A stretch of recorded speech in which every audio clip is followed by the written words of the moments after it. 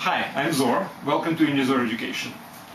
Um, I would like to continue talking about uh, trigonometric functions uh, and primarily their values for some basic angles.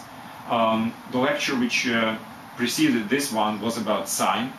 Uh, what's the value of sine for major or basic angles where we can easily calculate its value.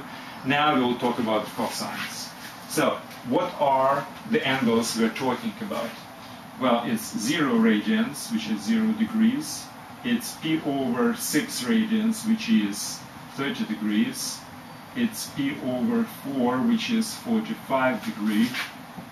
It's p over 3, 60 degrees. And p over 2. Actually, sometimes I, am saying p, sometimes pi, depending on which language I have in mind, Greek or, or Latin or, or English, whatever. So, um, so for any of these angles, we will calculate the value of cosine. Let's go back to the basics. This is our unit circle. These are crossing with uh, axis. And this is our point A with coordinates PQ. And this is an angle which we are talking about.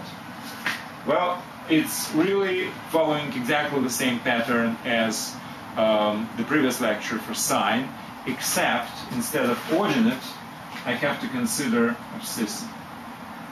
So this is Q, this is P, this is capital P, this is capital Q.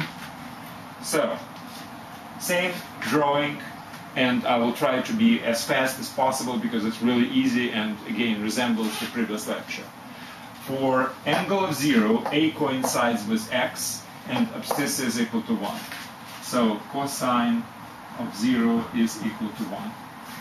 Now, if this is p over 6 or 30 degrees, then the opposite catetus, which is q, is equal to half of the hypotenuse, which is 1 because it's a unit circle.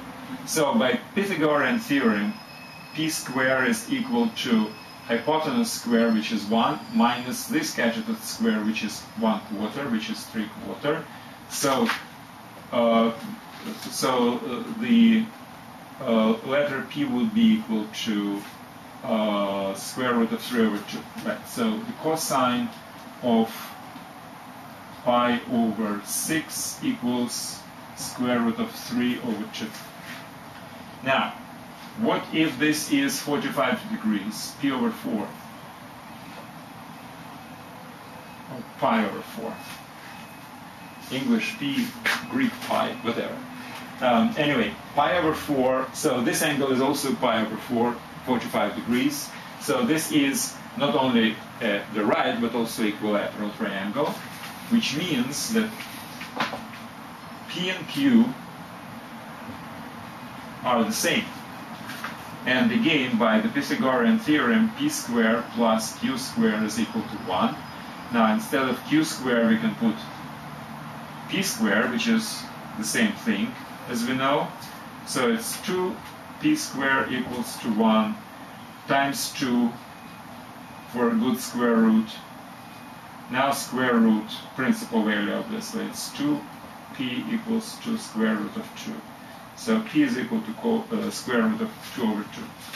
Cosine of p over 4 equals square root of 2 over 2. Next, 60 degrees pi over 3.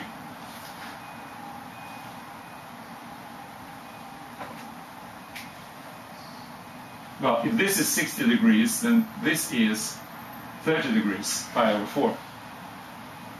So, the opposite to 30 degrees side of this right triangle, which is actually our abscissa p, is equal to half of the hypotenuse. So there is nothing to talk about here we immediately have it one half. Finally, if it's uh, pi over 2, which is 90 degrees, a coincides with y, and its abscissa is equal to 0.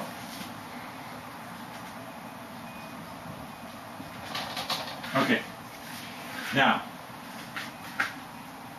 thinking about other quadrants of the coordinate plane, again, very analogously to whatever I was doing with the sine.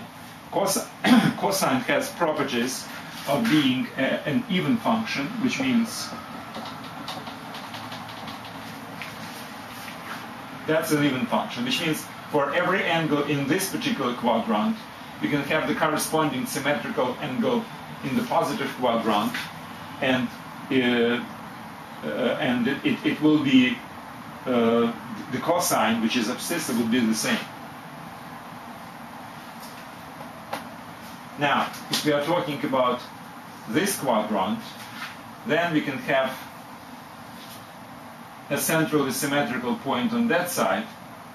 So if this is x, this is pi plus x, right? So we know how to calculate this, and we calculate cosine of pi plus x, we know this is equal to minus cosine of x.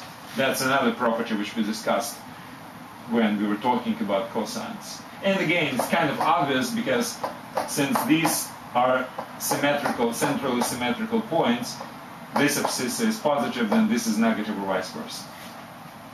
And finally, if this is in this quadrant, we can consider a set, uh, not, not centrally, but um, uh, re reflection relative to the y-axis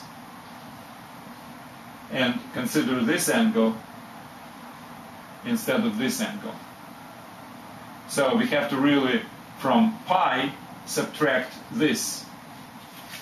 So we need this. And the ordinate again would be negative in this case relative to this one. So this is an obvious equality. So these are properties which we discussed before. I just briefly mentioned them. And they can help you to calculate any other value of major angle. Let's say you have, I know, 135 degrees, which is uh, 180 minus 45. 180, which is pi, minus 45. You know it's minus cosine of 45 degrees, which is pi over 4, which is minus square root of 2 over 2, etc. Um, that's it, very basic, very short lecture, and uh, we'll continue talking about major angles for tangent, cotangent, etc. Very small, very brief lectures. That's it for now. Thank you.